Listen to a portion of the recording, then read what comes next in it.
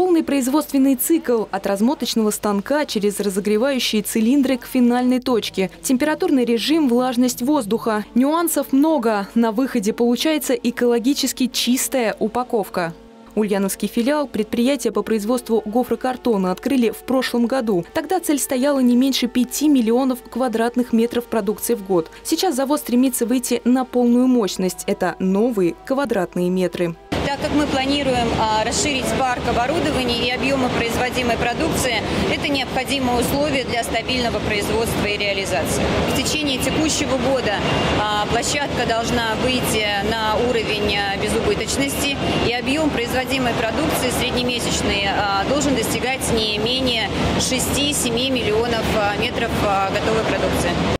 В год завод планирует выпускать до 190 миллионов квадратных метров продукции. Это не единственные цифры, к которым стремится руководство. С открытием новых помещений на предприятие придут новые люди. Для них приготовили 250 рабочих мест. Содействие в развитии оказывает региональное правительство. Все предприятия, которые какую-либо продукцию выпускают, они так или иначе нуждаются в упаковке. И в этом ключе, конечно, именно продукция Арбума, она просто незаменима. Тем более она экологична, это не пластик.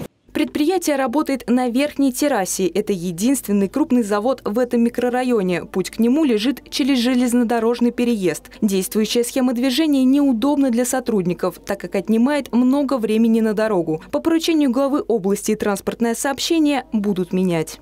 Это строительство в будущем развязки, которое решать проблемы не только этого предприятия, но и в целом микрорайона по выезду на Димитровградское шоссе. Впереди составление проектно-сметной документации. В планах к 2024 году включить строительство в национальный проект «Безопасные и качественные дороги».